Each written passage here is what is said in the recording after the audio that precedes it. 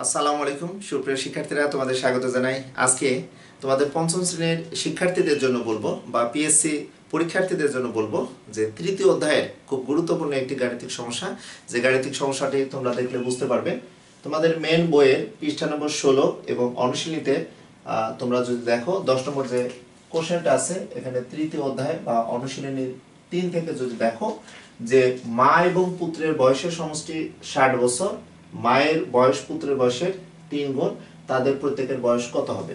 তো এই গাণিতিক সমস্যাটি সমাধান করে দেওয়ার পূর্বে বলব, যেহেতু তোমরা চতুর্থ শ্রেণি কমপ্লিট করেই কিন্তু পঞ্চম শ্রেণীতে পড়াশোনা করছ, সেই ক্ষেত্রে চতুর্থ শ্রেণীতে দেখবে ষষ্ঠ অধ্যায় ওখানে ছিল যে গাণিতিক প্রতীক, অর্থাৎ গাণিতিক প্রতীক কেন আমি বলছি? যে আমরা কিছু ম্যাথ যদি অক্ষর প্রতীক দ্বারা এই ম্যাথগুলো কমপ্লিট করি, সেটিও সঠিক হবে। আবার যদি আমরা মেন বইয়ের সাথে যদি মিল করে যদি পেজ যেটি লেখা আছে, ষোলো নম্বর পেজের মতো যদি ম্যাথটি কমপ্লিট করি, তাতে কোনো প্রবলেম নেই। যেমন তোমরা চতুর্থ শ্রেণীতে শিখেছ, ক প্লাস এক সমান সাত হলে তোমরা জানো যে বাম পক্ষের কোনো সংখ্যা ডানে গেলে আমাদের বিয়োগ হয়ে ক সমান তোমরা পাবে ছয়। একটা নিয়ম তোমরা পেয়েছিলে। গাণিতিক প্রতীক অর্থাৎ তোমরা সম্পর্ক প্রতীক বা তোমরা প্রক্রিয়া প্রতীকের যে ব্যাপারটি ছিল, যোগ, বিয়োগ, গুণ, ভাগ, সেটি দিয়ে তোমরা এই টাইপের ম্যাথ করেছ। আবার দুই নম্বর যে শর্তটি ছিল যে ক বিয়োগ দুই মাইনাস যদি সাত হয়, তাহলে তোমরা এখানে পক্ষান্তর অর্থাৎ বামের কোনো সংখ্যা যদি ডানে যায়, বিয়োগ থাকলে যোগ হবে। সেটি থেকেও কিন্তু তোমরা এই ম্যাথটি কমপ্লিট করেছ। অর্থাৎ ক সমান দেখো, নয় পাচ্ছ। আমি এটি কেন আলোচনা করছি? তোমাদের একটু মনে করে দেওয়ার জন্য যে এই ম্যাথটি যদি আমরা খুব শর্টলি করতে চাই, তখন আমরা কীভাবে ম্যাথটি কমপ্লিট করব? এরপর আসো দেখো, ক গুণ দুই সমান যদি দশ হয়, সেটাকে তোমরা কীভাবে করেছিলে? বা গুণ থাকলে তোমরা শিখেছিলে যে আমরা যদি এই দুই ডানে যাই, তাহলে আমরা লব বাই হর আকারে লিখতে পারি, অথবা এটাকে তোমরা শিখেছো ক্লাস ফোরে বামপক্ষে কোনো অজানা অক্ষর প্রতীক বা খালি ঘর চিহ্নিত কোনো সংখ্যা খালি ঘরের সাথে যদি কোনো সংখ্যা গুণ আকারে থাকে, এটা সরাসরি তোমরা ভাগ আকারে এভাবে লিখেছো। তো এখান থেকে তোমরা যখন লঘিষ্ঠকরণ করেছ বা তোমরা নর্মালি যে কাটাকাটি করো বা এখানে দেখো একই রেজাল্ট হয়। অর্থাৎ আমি এই বিষয়টা কিন্তু তোমাদের সামনে এখন ক্লিয়ার করার জন্য আমি এই ম্যাথটি ক্লিয়ার এটি ক্লিয়ার করে কিন্তু ম্যাথটি আমি অজ্ঞাত বা অক্ষর প্রতীক দিয়ে যদি ধরে নিয়ে ম্যাথ করি, তাহলে আমি কমপ্লিট করতে পারব কিনা?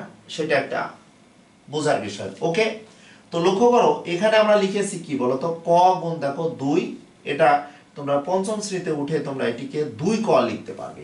কোনো সমস্যা নেই। ওকে যদি এমন থাকে সাত গুণ ক, বা এমন যদি থাকে নয় গুণ খ, যেভাবে থাক না কেন এটাকে আমরা নয় খ লিখতে পারব। ওকে বা এটাকে আমরা সাত ক লিখতে পারব। ওকে সুপ্রিয় শিক্ষার্থীরা, এটা বলার কারণ আমরা এভাবে যে প্রক্রিয়া প্রতীক যে গুণ আছে গুণকে কিন্তু দেখো আমরা এই আকারে লিখতে পারি। অবশ্যই তোমরা ষষ্ঠ শ্রেণীতে গেলে বুঝতে পারবে যে ষষ্ঠ শ্রেণীতে তোমরা যখন উঠবে দেখবে দুই এক্স যখন পাবে, টু এক্স যখন তোমরা পাবে, এটাকে তোমরা লিখতে পারবে টু ইন্টু এক্স, এবার লিখতে পারবে, বা টু এ কে তোমরা লিখতে পারবে টু গুণ এ, এভাবেও লেখা যায়। তো যাই হোক, এখন আমাদের মনে রাখতে হবে গুণ আকারে যদি কোনো সংখ্যা থাকে সেটিকে আমরা অক্ষর প্রতীক বা অজানা প্রতীক যদি ফাইন্ড আউট করতে চাই, ডানে যে কিন্তু ভাগ হবে। এটা আলোচনা করব এই কারণে আমি এই ম্যাথটি দেখো, এই ক বা অক্ষর প্রতীক দিয়ে আমি কমপ্লিট করে দেওয়ার চেষ্টা করব। যদিও বা চতুর্থ অধ্যায়ে গেলে তোমরা দেখবে ওখানে গাণিতিক বাক্য বা খোলা বাক্য একটি ব্যাপার আছে। ওখানে গেলে এই বিষয়টা আরেকটু ক্লিয়ার হবে। বাট তৃতীয় অধ্যায়ে কোনো শিক্ষার্থী যদি মনে করো যে ক ধরে গাণিতিক প্রবলেমটা সমাধান করব সেই ক্ষেত্রে তোমাদের সমস্যা হবে কিনা, সেটার জন্যই মূলত এই ক্লাসটি আমি আপলোড করব। এখন আসো, বলা হয়েছে, মা এবং পুত্রের বয়সের সমষ্টি ষাট বছর। মায়ের বয়স পুত্রের বয়সের তিন গুণ। নিঃসন্দেহে মায়ের বয়স অবশ্যই আমাদের বেশি হবে, কিন্তু কত বেশি? পুত্রের যে বয়স হবে তার তিন গুণ। এখন এমন হতে পারে, পুত্রের বয়স দশ বছর যদি হয় তাহলে মায়ের বয়স ত্রিশ বছর। ওকে, পুত্রের বয়স যদি আমি বলি আট বছর যদি হয়, তাহলে মায়ের বয়স আমরা চব্বিশ বছর বলতে পারি বা পুত্রের বয়স যদি আমরা বারো বছর ধরে, তাহলে মায়ের বয়স তিন বারো ছত্রিশ বছর হবে। ওকে, তাহলে কার বয়সটি কম এখানে? নিঃসন্দেহে পুত্রের বয়স কম। তাহলে আমরা প্রথমে ধরে নিব যে ধরে পুত্রের বয়স, পুত্রের বয়স আমরা ক বছর ধরে নিব। কারণ এখানে ষাট বছর লেখা আছে, ষাট বছর ধরলাম। ওকে, তাহলে আমরা এখানে কি লিখব? এখানে আমরা লিখতে পারব, তাহলে মা এবং পুত্রের সাথে সম্পর্ক। তাহলে মায়ের বয়স, একটু লক্ষ্য করো, মায়ের বয়স কত গুণ বলো তো? মায়ের বয়স, পুত্রের বয়স যেটা তার তিন গুণ। তাহলে আমরা তিন গুণ ক, এটা আমরা বছর লিখব। এখন প্রশ্ন হচ্ছে, তিন ক সমান আমি কি লিখেছিলাম বলো তো? তিন গুণ ক সমান আমি লিখেছিলাম, দেখো, তিন ক। এভাবেও আমরা সরাসরি আমরা লিখতে পারব, কোনো সমস্যা নেই। অবশ্যই তোমরা বুঝতে পারছ যে তিন গুণ ক আমরা লিখতে পারি। তিন গুণ ক মানে তিন ক। এখন বলা হয়েছে যে এই পুত্রের বয়স এবং মায়ের, এই দুজনের বয়সের সমষ্টি কত বলো? সমষ্টি বা যোগফল কিন্তু ষাট বছর। তাহলে আমরা লিখতে পারি, দেখো প্রশ্ন মতে কি লিখতে পারি? মা এবং পুত্রের বয়স। তাহলে মায়ের বছর বয়স আমরা তিন গুণ ক যোগ এখানে দেখো, ক আছে, ওকে, সমান আমরা ষাট বছর পাচ্ছি। তো তিন গুণ ক মানে আমরা কি পেয়েছি বলতো তিন ক পেয়েছি। তাহলে তিন গুণ ক যোগ ক, এটাকে তিন গুণ ক মানে তিন ক লিখতে পারি। তিন ক এর সাথে আরেকটি ক যোগ হলে আমরা চার ক আমরা লিখতে পারব, ওকে? তাহলে এটাকে আমরা কীভাবে লিখতে পারব? বা, ওকে? যেহেতু সমান চিহ্ন থাকলে চতুর্থ শ্রেণীতে তোমরা শিখে আসছো, এটি বা লেখা যাবে। তাহলে এটাকে আরেকটি লাইনে তোমাদের বোঝানোর জন্য লিখে দিই। তাহলে তিন ক যোগ ক সমান ষাট হলো, বা লক্ষ্য করো, তিন ক আর এক ক যোগ করলে আমরা চার ক পাবো, ওকে? তাহলে গুণ আমরা চার ক সমান ষাট হলো, তো আমরা তিন ক মানেই তো তিন গুণ ক লিখতে পারি, তাই না? তিন ক কে আমরা কি লিখতে পারি বলো? তিন গুণ ক লিখতে পারি, তাই না? তাহলে তিন ক সমান যদি আমাদের এখানে বারো হয়, তাহলে এই অংশটুকু বাদ দিলে শুধু কয়ের মান যদি রাখতে চাই, তাহলে বারো ভাগ দেখো, আমরা তিন লিখতে পারব, কারণ তিন কিন্তু কয়ের সাথে গুণ আছে।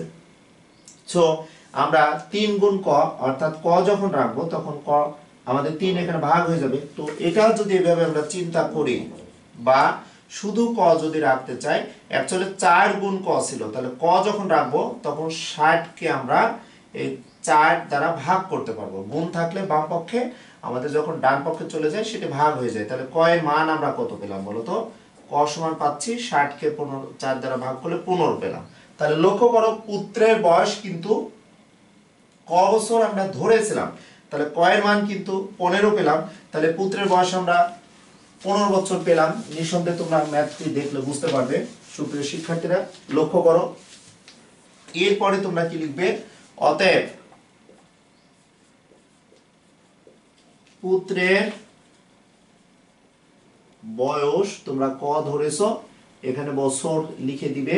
তাহলে ক সমান তোমরা ক সমান পনেরো পেয়েছ, তাহলে পুত্রের বয়স কিন্তু পনেরো বছর পেয়ে গেলে। ওকে এখন মায়ের বয়স আমরা কি পাবো? এবং দেখো, মায়ের বয়স আমরা কীভাবে নির্ণয় করতে পারি? মায়ের বয়স কত আছে বলো তো? আমরা কত ধরেছিলাম? মায়ের বয়স তিন গুণ ক। তাহলে আমরা এখানে তিন গুণ ক বছর আমরা রাখলাম। তাহলে তিন গুণ কয়ের মান কিন্তু আমরা পেয়েছিলাম পনেরো। ওকে, তাহলে তিন পনেরো কত পেলাম বলো তো? পঁয়তাল্লিশ, পনেরোর ঘরের নামটা আমরা খুব সহজেই কিন্তু দেখো যে ক চলক বা গাণিতিক আমরা যদি প্রতীক বলি বা অক্ষর প্রতীক দিয়ে কিন্তু খুব সহজেই কিন্তু আমরা মা এবং পুত্রের বয়স আমরা নির্ণয় করতে পারছি। তাহলে আমরা উত্তরটি কি লিখব? অতএব উত্তর লিখব, মায়ের বয়স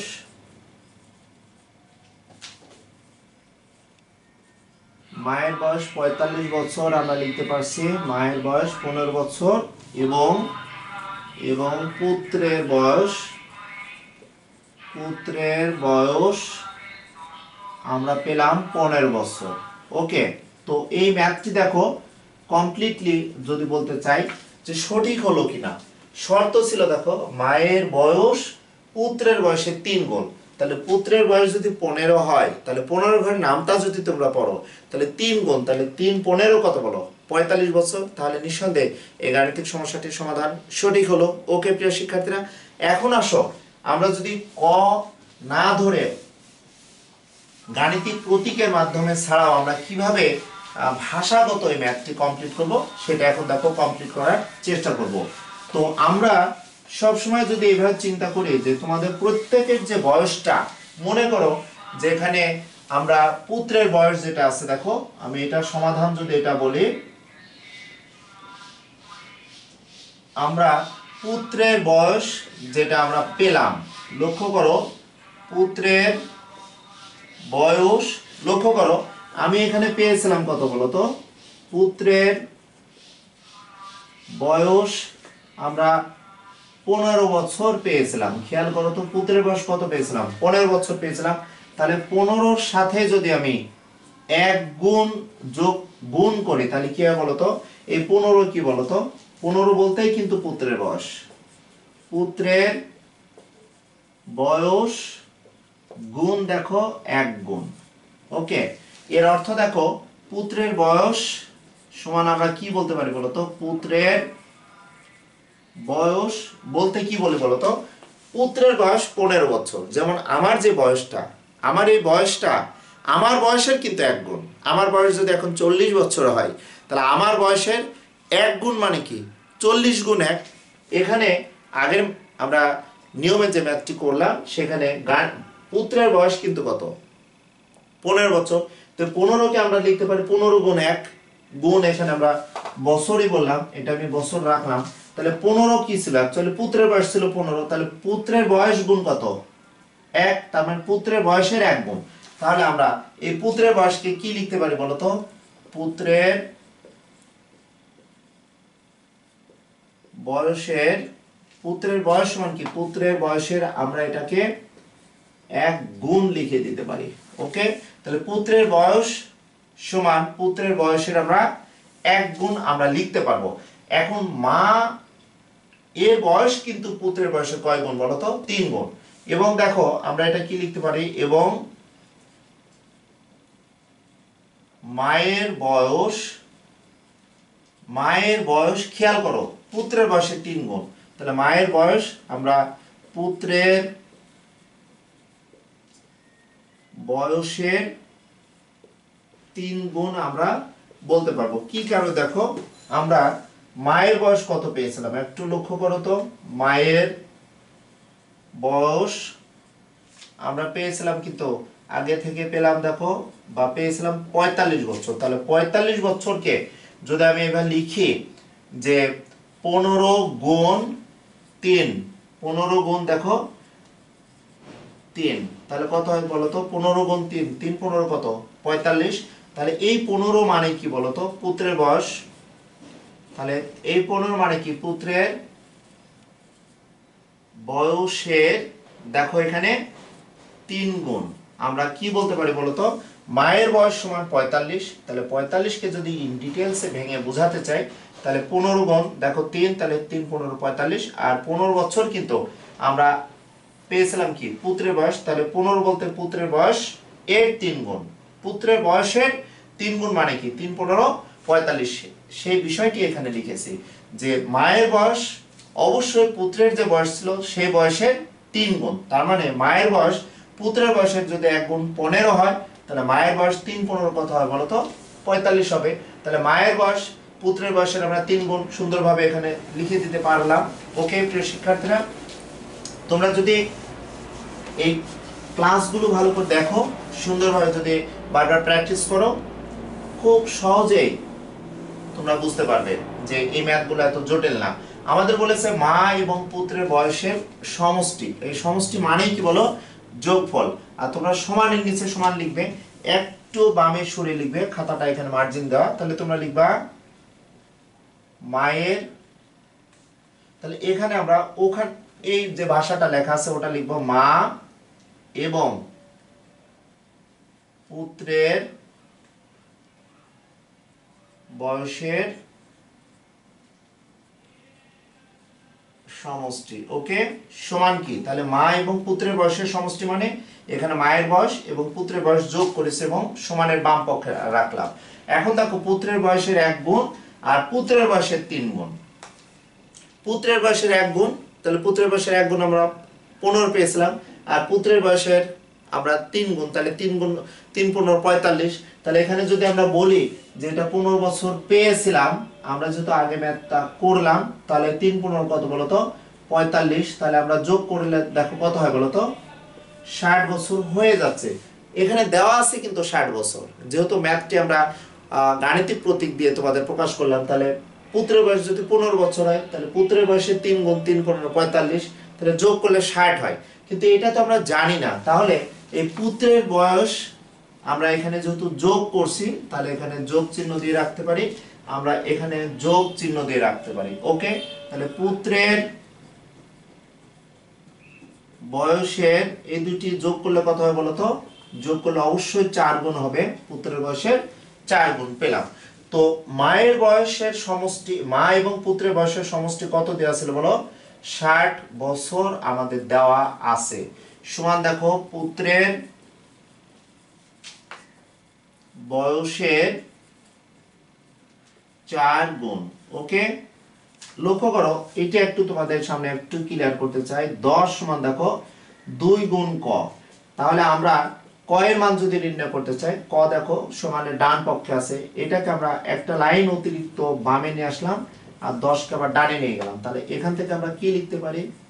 ক সমান দেখো দশ ভাগ দুই, তাহলে এখানে আমরা ক সমান আমরা পাঁচ লিখতে পারি। ওকে? এটা কেন বললাম? আমাদের পুত্রের বয়সে চার গুণ সমান ষাট আছে। তাহলে এটাকে একটু সুন্দর করে যদি আমরা বামে বোঝানোর জন্য লিখি যে পুত্রের বয়সের, লক্ষ্য করো, কয় গুণ বলো? চার গুণ। একটা অতিরিক্ত লাইন আমি তোমাদের সামনে লিখছি, কারণ এই ম্যাথগুলো যদি ইন ডিটেলসে তুমি বুঝে কমপ্লিট করো, তাহলে তোমাদের পৃষ্ঠা ষোলোর যে ম্যাথ আছে, সেটাও সুন্দরভাবে পেয়ে যাবা। তাহলে তাকে এই যে পুত্রের বয়সে চার গুণ, আমি ডানে ছিল, এটাকে বামে লিখলাম, কারণ আমরা সব সময় অজানা বা অক্ষর প্রতীকে বাম পক্ষে রাখি সমানের। ওকে যার কারণে আমরা ওটাকে একটু ইন্টারসেন্স করলাম, আর যেহেতু এই শর্ত থেকে পুত্রের বয়স আমরা পাবো, তাহলে এখানে লিখতে পারব, তাহলে পুত্রের বয়স বলতে কি এখানে? পুত্রের বয়সের আমরা এই চার গুণের পরিবর্তে আমরা এক গুণ লিখব বা এই লাইনটা না লিখেও যদি আমরা এর পরের লাইনটি লিখতে চাই, একটু দেখো, তাহলে পুত্রের বয়সের চার গুণ ছিল। এখান থেকে পুত্রের বয়সের ঐকিক নিয়মের মতো যদি করতে চাই, এক গুণ যদি বের করতে চাই, বা সরাসরি আমরা এখন যে লাইনটি লিখছি, এই লাইনটিও লিখতে পারি, পুত্রের বয়স সমান। আমরা এই লাইনটি না লিখে পুত্রের বয়সের চার গুণ থেকে আমরা সরাসরি পুত্রের বয়স সমান লিখতে পারি। ষাট বিয়োগ আমরা চার সমান পনেরো বছর আমরা পেয়ে গেলাম। ওকে প্রিয় শিক্ষার্থীরা, একটু লক্ষ্য করো, তাহলে পুত্রের বয়স কিন্তু আমরা মেন বইয়ের সাথে কম্পেয়ার করে এবার যদি করতে চাই যে পুত্রের বয়স সমান আমরা পনেরো বছর পেলাম। খুব সুন্দরভাবে কিন্তু পুত্রের বয়সের আমরা পেয়ে গেলাম পনেরো বছর। আমরা এখন মায়ের বয়স কীভাবে পাবো? তাহলে মায়ের বয়স কি আছে? পুত্রের বয়সে কয় গুণ বলো? তিন গুণ। তাহলে মায়ের বয়স নিঃসন্দেহে পঁয়তাল্লিশকে তিন দ্বারা গুণ করলে আমরা মায়ের বয়সটি পেয়ে যাব। তাহলে একটু লক্ষ্য করো, আমরা কীভাবে লিখতে পারব? অতএব মায়ের বয়স সমান। তাহলে পনেরো গুণ। মায়ের বয়স, পুত্রের বয়সের কয় গুণ বলো? তিন গুণ, তাহলে তিন দ্বারা গুণ করব। এটা হলো কি বলো? বছর। তাহলে আমরা পাচ্ছি তিন পনেরো কত বলো তো? পঁয়তাল্লিশ বছর পেয়ে গেলাম। ওকে, তাহলে তোমরা যদি ক্লিয়ারলি বোঝার চেষ্টা করো, প্রিয় শিক্ষার্থীরা, যে পুত্রের বয়স আমরা পনেরো বছর পেলাম, মায়ের বয়স কিন্তু পঁয়তাল্লিশ বছর পেয়ে গেলাম। আমরা তোমাদের মেন বইয়ের সাথে যদি এই পৃষ্ঠা ষোলোর সাথে যদি কম্পেয়ার করি, যে ওখানে পিতা এবং কন্যার বয়সের সমষ্টি আছে। আমরা সেম টাইপের ম্যাথ এখানে তিন গুণ হয়ে সংখ্যা চেঞ্জ আসতে পারে যোগ্যতা ভিত্তিক প্রশ্নে, তাতে কোনো সমস্যা নেই। আমরা এভাবে কিন্তু সুন্দরভাবে ম্যাথটি কমপ্লিট করতে পারি। লাস্ট অল আমরা কি লিখব বলো? উত্তরটা আমরা আগের মতো লিখব যে উত্তর মায়ের বয়স আমরা পেলাম পঁয়তাল্লিশ বছর এবং এখানে পুত্রের বয়স আমরা পনেরো বছর পেয়েছি। ওকে, সুপ্রিয় শিক্ষার্থীরা, আমরা এই গাণিতিক সমস্যাটির সমাধান এভাবে মেন বইয়ের পৃষ্ঠা ষোলোর সাথে কম্পেয়ার করে ম্যাথটি করতে পারি সলিউশন দিতে পারি। তবে এই ম্যাথটি সুন্দরভাবে তোমরা বুঝতে যদি পারো, সেই ক্ষেত্রে চতুর্থ শ্রেণীতে গাণিতিক প্রতীক যে প্রক্রিয়া প্রতীক চারটি ছিল যোগ, বিয়োগ, গুণ, ভাগ এবং তোমরা এখানেও যদি চতুর্থ অধ্যায় যখন কমপ্লিট করবা, গাণিতিক প্রতীকের যে ম্যাথটি আছে অধ্যায়টি আছে, অর্থাৎ গাণিতিক বাক্য বা খোলা বাক্য, ওখানে অক্ষর প্রতীক ক, খ দিয়ে তোমাদের গাণিতিক সমস্যার সমাধান করা আছে। সেভাবেও তোমরা ম্যাথ করলে কোনো সমস্যা নেই। তবে মেন বই কিন্তু প্রিফার করেছে, তোমরা এভাবে করবে এবং মেন বইয়ের সাথে তোমরা মিল করেই কিন্তু এই টাইপের ম্যাথগুলো এই নিয়মে করানোর চেষ্টা, করার চেষ্টা করবে এবং তোমরা ভালো থাকবে, সুস্থ থাকবে এবং পিএসসি পরীক্ষা সুন্দরভাবে প্রস্তুতি নাও এবং আমি আছি তোমাদের সাথে। সেই প্রত্যাশায় এই ক্লাসের ইতি টালাম আল্লাহ হাফেজ।